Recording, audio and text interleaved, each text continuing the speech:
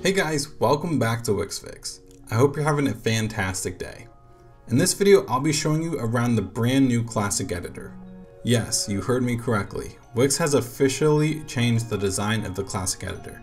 I sat in on a Wix partner livestream and they showed off some of the new design and features and I want to take it for a spin and give you guys my honest opinion on the new design.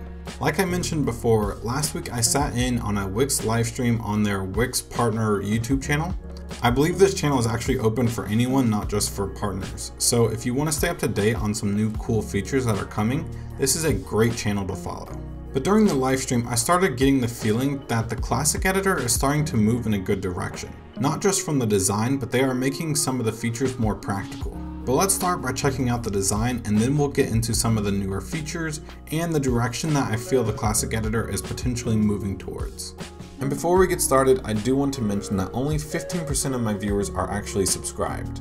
So if you're new around here or you've been viewing my videos for a while, I want to challenge you to subscribe to the channel if you find this video useful at any point. Subscribing helps the channel grow. It also tells YouTube's algorithm that people are enjoying the content and they should promote the videos more. That way more people get the help that they need. But with that out of the way, let's dive right into the video. Now I do want to mention that the new Classic Editor is currently only available for Wix partners in the beta program.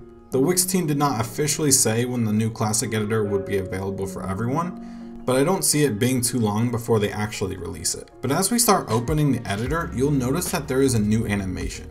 So in the future, if you see this, then this will probably be a good sign that the new editor has actually been released. And I must say that I really enjoy the new animation. Maybe I'm just so used to the old one that I'm just dual to it now. After the editor finishes loading, this is what we will see. It looks really clean and new.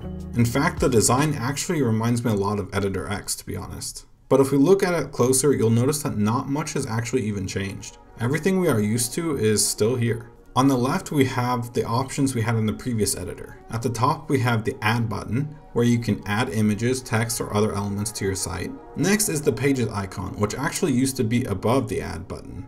But here you can add pages, reorder them, and adjust the settings for those pages. Below that is the theme manager, where you can set the colors and fonts for your site. Next is the page background settings. Here you can change the page background to a certain color, image, or even video. Below that is the app marketplace. And here you can find specific apps that don't come default into the Wix platform. So this could be apps made by Wix or even third-party apps. Next is the media library. Here you can select from your uploaded images or even just choose one from their extensive stock library. And lastly is the blog icon. Now if this is anything like the old classic editor, this icon may be different based on which Wix internal service you're using. So it could be the shop, it could be CMS, it could be blog, it could be a number of different things. Now if we take a look at the top bar, we will see that most of it is very similar to the old editor. In the top left, you can quickly navigate between your pages. To the right of that, you will see the desktop and mobile icons. It's here where you can switch between both breakpoints to make sure that your desktop and mobile versions of your site look good before you publish. Then if you move over to the right, you will see the undo and redo buttons that let you quickly undo or redo if you made a mistake. Next is the zoom out and reorder button from the old editor. This feature lets you quickly reorder your strips and content on your site with ease. Next to that icon is the tools menu. Here you can select which tools you want to be active in the editor as you are designing your site. If we look above that, you will see the save, preview, and publish buttons. When you make changes to your site, it is smart to press save to make sure that you don't lose your work. This is a pretty important step because I remember one time I worked an entire day on designing a site and didn't realize Wix glitched out on me and the work didn't save for hours. So I highly suggest pressing this occasionally just to make sure that your work is being saved.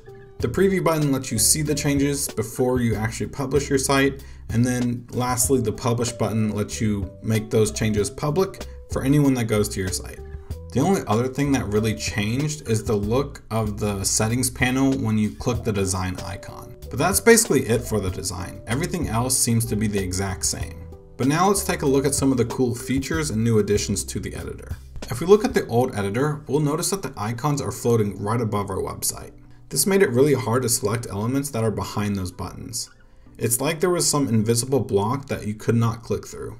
The only way to actually select the items that were hidden behind it were to open up the layers panel and just try to find it, or by pressing the little up arrow to hide the editor elements, select the item, and then press the arrow again to show the editor elements.